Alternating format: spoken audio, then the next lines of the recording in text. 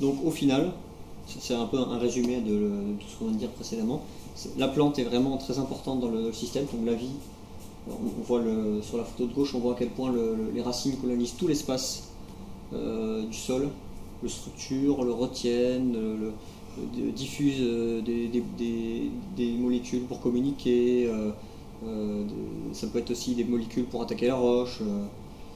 c'est vraiment la, plante qui, et son cortège microbien qui font que le sol est vivant. Et par le, au, niveau, ça c'est des manchons bactériens qui sont sur les racines. Donc on voit la racine qui est blanche ici, et tout autour, sur quelques, quelques, quelques microns, quelques, quelques dixièmes de millimètres, on a tout un, espace qui est la, la rhizosphère, c'est l'espace autour de la racine, la rhizosphère, extrêmement riche en bactéries. Et en champignons. Et en champignons. Extrêmement riche en, micro-organismes. Et, c'est vraiment, on cherche à maximiser cet espace-là. C'est là où il y a tous les échanges qui se font, le, maximum d'échanges et le maximum de nutriments qui sont, qui sont disponibles. La, gaine microbienne, en fait, ce, qu'on voit, c'est autour de la racine, en fait, ce sont des particules, euh, des particules minérales, en fait, qui sont collées à la racine. Et ce qui les colle à la racine, en fait, ce sont les mucus produites par la rhizosphère et par la racine. La racine dégage des sucres, en fait, c'est la, racine qui dégage les sucres. Et là, quand on a des racines comme ça, qu'on sort du sol et qu'on les tape, et qu'en fait la terre a tendance à rester bien gainée autour de la racine, c'est qu'il y a une forte activité microbienne autour de la racine et que la racine vraiment pilote son environnement. Elle balance les sucres qu'il faut pour activer les, micro-organismes qui vont avec des gels. Et des fois, on prend des plantes comme ça, on les sort du sol, tac, tac, tac, et en fait, on a la racine à nu directement. Donc là, ça veut plutôt dire qu'en fait, l'activité rhizosphérique est faible, donc le lien de la plante au sol est faible. Elle pilote peu son alimentation, donc elle va être sujette à, des problèmes. Et, le pilotage se fait par les exudats racinaires. Dans, le, dans les exudats racinaires, donc dans le, tout ce que la, plante envoie comme, sucre pour nourrir les bactéries, il y a aussi des informations qui passent avec ces bactéries et des échanges qui se font. Euh, les, bactéries ou les champignons, je ne sais plus lesquels, peuvent en contrepartie fournir euh, des molécules euh, qui, ont des propriétés pour soigner la plante. Euh, c'est extrêmement complexe ce qui se passe et au niveau scientifique, il n'y a pas grand-chose encore qui est, bien compris, mais ça, commence à, progresser un petit peu là-dedans et on, commence à percevoir l'immensité et la complexité de, tout ce qui se passe ici. Il y a une, véritable communication intelligente entre les organismes et ça c'est actionné par des sucres en fait et des sucres très fins c'est presque des nectars qu'on balance dans le sol. C'est-à-dire que c'est pas de la grosse protéine de base, là, genre pétrole, c'est des trucs très fins qui sont produits par la photosynthèse, qui sont mis en dose à des moments précis pour réglementer, en fait, réguler autour de soi les besoins de la plante. C'est pour ça que c'est elle qui pilote, en fait, c'est qui pilote le milieu. Du coup, là, il y avait une autre photo pour montrer, donc pour rebondir à où passent les éléments nutritifs à la fin de la floraison, de la graine, en fait, on a oublié de la mettre d'ailleurs, la, petite plante. Il y, a un, petit grain de maïs où on voit déjà une gaine microbienne alors qu'il n'a pas encore fait de photosynthèse. Tu vois, il lance son petit germe qui est encore blanc, le, germe floral, et tu as, la, première racine bien droite qui a déjà bien, super bien gainé. Super bien gainé. Eh c'est que en fait, à l'intérieur de la graine, la plante accumule un ensemble de nutriments et de sucres qui vont servir à la fois à produire le début de la racine et à la fois à produire les premiers cotylédones pour amorcer la photosynthèse, mais aussi pour commencer à communiquer directement avec son sol. Et elle arrive, elle dit Eh oh, mycorhize, je suis là, quoi. Et elle balance un peu de sucre. Eh oh, bactéries, je suis là. Et hop, elle réveille les organismes vivants dans le sol et elle amorce rapidement sa photosynthèse, sa production de, tu vois, sa production de racines, tout le reste. C'est là qu'ils reviennent. À ce moment-là, ils reviennent effectivement dans le sol, mais pas après quoi, et en moins grosse quantité que, ce qui a été prélevé.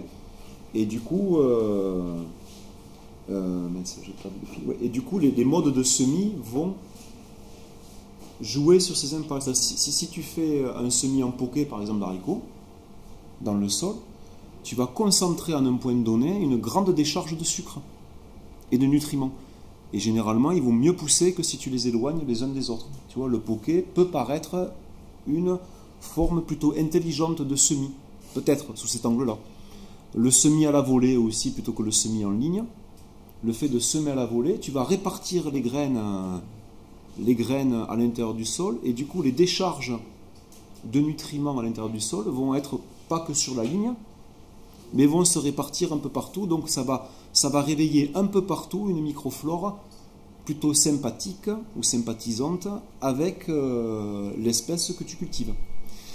Si tu installes une plante derrière un couvert végétal qui avait une très grande activité racinaire et que tu as détruit avant qu'elle s'éteigne au moment où elle déchargeait beaucoup de sucre, tu vois, un engrais vert, en fait, il va y avoir dans le sol énormément d'organismes symbiotiques potentiels qui sont actifs. Et du coup, avec très peu de décharge de sucre, très peu de consommation d'énergie, du coup, au détriment de la croissance, la plante va pouvoir s'enraciner. Alors que si tu la balances sur un sol qui est mort, où tous les organismes, mycorhizes et compagnie sont endormis, la plante, en fait, elle va décharger tous ces sucres de sa graine pour pouvoir réveiller ces espèces au détriment de la formation aérienne et de la, de la formation de la feuille. Et du coup, dès le départ, tu vas perdre en rendement, en vitesse de croissance. Parce qu'elle, elle, il faut qu'elle les réveille, elle ne peut pas se nourrir sans ça. Sauf si tu es dans l'hydroponique ou dans des sols totalement morts. Mais nous, en bio, on est rarement dans ça, même si on travaille le sol, quoi, avec nos engrais organiques. Du coup, on a tout intérêt à avoir un tissu bactérien et, enfin un tissu microbien, parce que je suis incapable de dire qui est quoi à l'intérieur. Microbien, c'est plus vaste, hyper actif au moment où j'implante ma plante. Comme ça, je vais économiser des sucres de décharge au profit de la formation aérienne et du coup directement l'usine va se mettre en route et c'est parti. Je produis du sucre et je monte en rendement directos. J'ai pas d'effet. Euh, Donc c'est quand même vachement important de, se rendre compte que la plante peut dépenser juste entre 20 et 80% de ses sucres. Donc cette différence entre 20 et 80% en fait, à même espèce, c'est la difficulté de la plante à avoir accès aux nutriments plus ça lui est difficile d'avoir accès aux nutriments, plus elle va dépenser de l'énergie pour trouver des nutriments dans les racines. Plus le sol va être gorgé de nutriments facilement assimilables, moins elle va dépenser d'énergie pour entretenir tout ce cortège, et directement, ça va produire de la biomasse. Ça, c'est la joie de la chimie. Je veux dire, c'est que les mecs, ils amènent tous les nutriments d'un pet. Du coup, il y a quasiment aucune, il y a des blés qui mycorhizent plus. Pour dire à l'époque j'étais jeune, ça fait 25 ans à peu près, quoi, et j'ai découvert l'agriculture et le maraîchage. Et je me souviens, le mec avec qui je bossais, il me disait T'as vu les épinards là-bas euh, Ils ont été semés en même temps que les nôtres. C'était une culture en chimie. Même, même, même itinéraire technique au niveau du travail du sol, la seule différence c'est la fertilisation. Fertilisation au compost biodynamique et fertilisation à l'ammonitrate. et eh bien l'autre, il avait déjà des feuilles d'épinards de, comme grosses et lui, il avait des toutes petites feuilles d'épinards, bien vert foncé, mais toutes petites. Et la vitesse de croissance, à mon avis, elle n'était pas liée au climat, puis c'était le même climat, ni à la texture du sol, puis c'était la même texture. Elle était liée à la disponibilité aux nutriments ultra rapides. La plante a pu croître super vite parce qu'en fait, elle avait à sa disposition les nutriments de suite. Alors que lui avait son compost biodynamique dans un sol un peu meurtri par le travail du sol, ben elle ramait pour trouver à bouffer. Donc comment nous, on peut réussir à créer ça vachement de décharge de nutriments sans mettre de chimie, ben là, on va se mettre tous autour de la table. le goût du sucre sous-entend de la maturation.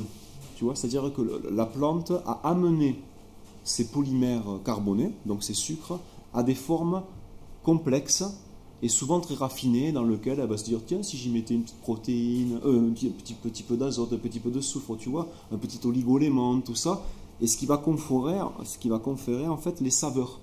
C'est pas c'est pas des sucres de structure. Du coup, pour arriver à ça, pour arriver à avoir ces saveurs et ces goûts, il faut que la, la photosynthèse marche au maximum de son potentiel. Tu vois, il faut qu'elle puisse métaboliser vraiment. Et pour qu'elle puisse métaboliser au maximum, il faut qu'elle puisse extraire du sol énormément de petits éléments. L'azote, la potasse, le phosphore ne vont pas suffire. Il va lui falloir, je sais pas moi, un petit peu de camion, un petit peu de cuivre. Moi, je ne connais pas tous ces trucs-là. Peut-être une petite hormone, une petite protéine, tu vois. Et qui fait qu'à un moment donné, eh ben, elle va commencer à fignoler la, la, molécule, elle va, elle va la ciseler un petit peu et elle va te faire du goût. Donc, une agriculture strictement minérale, associés uniquement aux éléments majeurs, vont produire de la croissance, et donc pour le coup des légumes monstrueux, et là tu peux bien le dire des légumes monstrueux, mais ils vont être incapables de produire de la maturation. La maturation, elle va se faire dans la finesse, et elle ne se fait, la finesse elle se fait rarement à la tronçonneuse ou au caterpillar. Tu vois? Il faut avoir des choses plus fines. Et cette finesse, les outils qui sont à notre disposition, encore une fois, c'est le vivant qui va le faire. Et plus le vivant est actif, plus ces nutriments vont arriver. C'est pour ça que sur des sols vivants, et en agriculture biologique, on a quand même des sols vivants, même si des fois on ne sait pas trop le faire ou quoi que ce soit, on est souvent remarqué quand on vend nos légumes, on dit putain, ils ont du goût, alors qu'ils ont sale gueule. Tu vois Question croissance, non mais ça, tu vois, question croissance, question croissance, on n'est pas, on est, on n'est pas efficace au niveau croissance parce qu'on on est, on est plus réticent à matraquer machin bidule, on est plus réticent, mais néanmoins au niveau maturation, on arrive à faire ça. Et donc je, finirai juste sur ces sucres par euh, un autre exemple. J'ai eu fait une autre formation avec, euh, avec, euh, avec Caroline, avec Graham Sheffield, Shepherd, Shepherd, à chaque fois je me trompe ils peuvent pas tous avoir des noms toulousains. Et du coup, euh, il, euh, il, il, nous montrait une image, il nous montrait deux images. Donc, euh, une image où on voit un champ de colza. La séparation entre les champs, en fait, elle est que cadastrale. Mais il n'y a pas de séparation naturelle, en fait. Tu vois Donc, il y a une, une le mec, il a labouré d'un côté, l'autre a labouré de l'autre. Et il y avait du colza d'un côté, du colza de l'autre, semé même temps, certainement peut-être même les variétés, je sais pas. Et d'un côté, les, euh, les sauterelles ont bouffé tout le colza d'un côté, et de l'autre côté, les sauterelles, elles ont bouffé euh, trois pieds de colza. Et tu te dis, euh, c'est quoi ce plan quoi? C'est pas, possible. Hein. C'est pas possible. Surtout coupé en ligne droite. Et la ligne droite, c'est la, ligne droite, c'est la conduite en fait qu'il a. Les conditions de milieu créées par l'un et par l'autre. Il y a un instrument de mesure qui est facile à faire, c'est le BRICS, le brick, c'est une unité de mesure des sucres qu'on utilise dans les fermentations alcooliques ou pour les confitures. Donc en fait, c'est un, réfractomètre. On écrase un peu de, on met un peu de jus de vin, on met un peu de, confiture ou on met un peu de, jus de plante écrasé sur un verre. On le présente à la lumière et on a une lecture directe du taux de sucre à l'intérieur des substances. Quand on prenait le colza pas bouffé par les sauterelles, il y avait énormément de sucre à l'intérieur et l'autre très peu de sucre. Et en fait, il se trouve que la sauterelle a du mal à digérer les sucres complexes. Elle digère, un peut digérer les sucres simples, donc ça ne donne à cœur joie. Et la différence, c'était qu'en fait, dans le champ, le champ, il était conduit de manière différente. Au niveau, il y avait des engrais verts, je pense, je suis pas sûr, c'est possible. en fait, ce qu'ils avaient mis, ils avaient rajouté à l'intérieur euh, un, mélange savant de substances sucrées tirées de, tirées de plantes, luzerne, machin bidule. C'est une boîte euh, australienne qui produit ça. C'est un activateur de sol, mais pas un activateur de sol qui contient des bactéries. C'est un activateur de sol qui contient des sucres. Et ça avait favorisé la mycorhize et l'activité biologique de la plante. Et du coup, elle avait abouti ces sucres. Et l'autre image avec ce même produit, c'est on est en Australie, on a un bas-fond, la séparation dans le bas-fond, c'est des prairies. C'est une clôture, tu vois, avec des brebis. C'est un endroit pâturé par des brebis. Et du coup, d'un côté de la clôture, tout est gelé. Et de l'autre côté de la clôture, rien n'est gelé. Tu vois, pourtant on a la même, même, même hauteur, quoi, même exposition de l'irium. Et là, pareil, quand on mesure les sucres, le brix dans l'un et dans l'autre, il y a plus de brix dans la partie pas gelée que dans la partie gelée. Et ce qui explique ça, c'est qu'en en fait, l'eau pure gèle à zéro et les eaux chargées de sel peuvent geler, on le voit dans la mer, ça gèle, ça gèle, ça, je sais pas combien, et le sucre, les eaux sucrées ont du mal à geler. Et l'augmentation de sucre fait qu'en fait l'eau gèle pas.